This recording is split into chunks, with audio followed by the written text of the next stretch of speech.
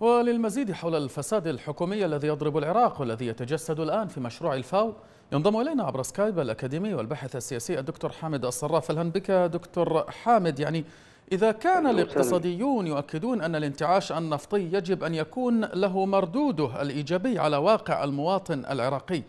السؤال هنا لماذا تتوقف المشاريع العملاقة التي من المفترض أن يكون لها مردود إيجابي على المواطن العراقي داخل بلده؟ مساء الخير عليكم. شكرا جزيلا على الاستضافة. تحياتي لكم ولجمهوركم المشاهدين الكرام. الحقيقة الفساد هو الذي يلعب الدور الأساسي الآن في توزيع المشاريع والموافقة من عدمها مشاريع خصوصا الكبرى لأنه الفساد أنشأ يعني الأحزاب الفاسدة ومن وراءها الميليشيات ونفوذ الأجندات الخارجية انشا إمبراطورية كبيرة نعم. آه، متعددة النشاطات ليس فقط اقتصادية وإنما طبعا نعرفها إحنا مسلحة وإعلامية ونفوذ يعني تمثيل النفوذ الخارجي أيضا نعم.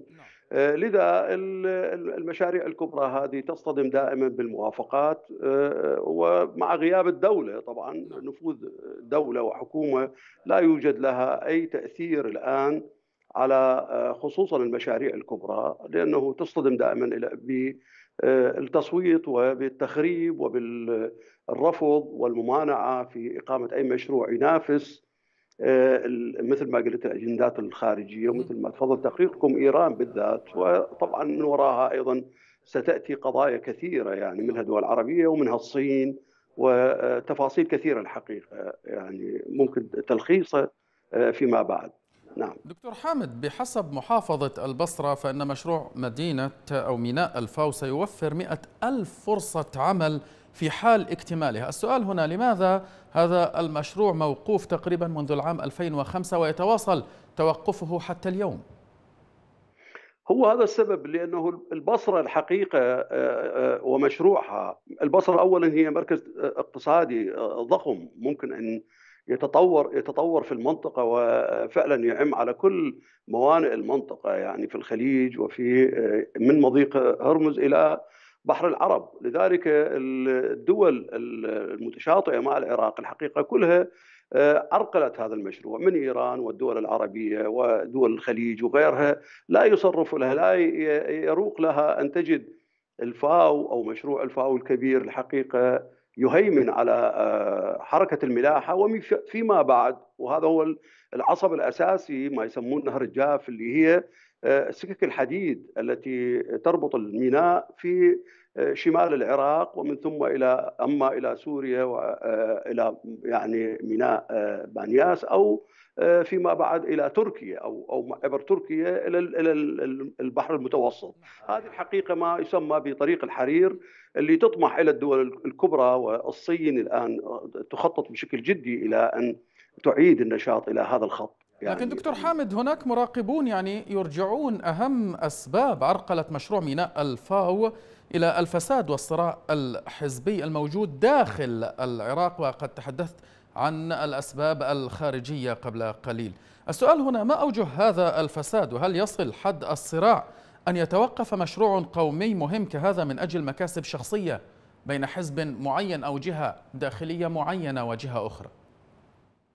الميليشيات الولائية تعتاش على المنافذ الحدودية برمتها ولا نستغرب إذا شفنا معظم المطارات ومنها مطار بغداد وميناء الفا والموانئ موانئ الجنوب والمنافذ الحدودية الأخرى.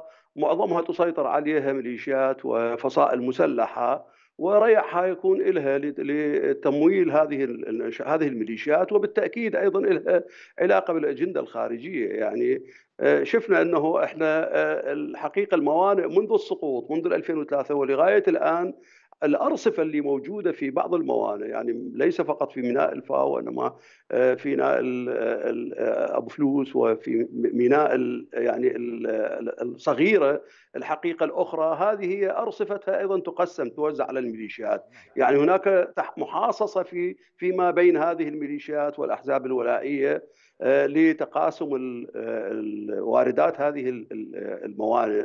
بشكل يعني إذا كان عبر بيع أيضا حتى يعني تهريب النفط أيضا يعني من من الجنوب خصوصا من البصرة. فهذه القضية قضية اقتصادية زائدا إنه إحنا قلنا الفساد الحقيقة يعني ورد في تقرير النيويورك تايم هذه قضية جوهرية وكتبه روبرت وورت هذه أكثر من 20 مفصل من المفاصل الاقتصادية تهيمن عليها الحقيقة الميليشيات والأحزاب الولائية خدمة للأجندات الخارجية وليس لمصلحة العراق. هذا هو البيت القصيد في كل الموضوع هي الفكرة. طيب إذا كان الفساد هو من يقف عائقا أمام إتمام المشروع أين إذن الأجهزة الرقابية ووعود الكاظمي ومن سبقوه بملاحقة الفاسدين ومحاربة الفساد؟ أين ذهبت هذه الوعود باعتقادكم؟ ما ذهبت أدراج الرياح بالتأكيد لأنه لا يمكن للكاظمي ولا غير الكاظمي أن أن يسيطر أو يكبح جماح الميليشيات التي أتت به إلى السلطة. من أتى بالمالكي إلى رئاسة الوزراء؟ ما هي الميليشيات نفسها؟ يعني وهي حكومة أصلا حكومة ميليشياوية. ومجلس النواب يهيمن عليه آه، فصائل مسلح المنحل السابق. لذلك المعركة الآن إحنا ليست موضوعنا معركة الانتخابات ونتائج الانتخابات ومخرجاتها. الحقيقة هي بغضر الهيمنة. استمرار هيمنة هذه الميليشيات على الحكومة وعلى مجلس النواب. فلذلك الكاظمي لا يستطيع ولا كان قبل عادل عبد المهدي ولا العبادي أن يكبح جماح هذه الميليشيات في الهيمنة على كل المنافذ الحدودية من ضمنها آه، استكمال ميناء الفاو اللي آه، تعطل أكثر من 15 سنة لغاية نعم. الآن. هذا هو البيت القصيد دكتور حامد بحسب ما يتوفر آه، لديكم من معلومات وبحسب تحليلاتكم الشخصية أيضا ليتك تحدثنا عن الدور الذي تلعبه إيران فيما يتعلق بتعطيل هذا المشروع الضخم ميناء الفاو في البصرة وما مكاسبها الشخصية من ذلك مكاسب إيران.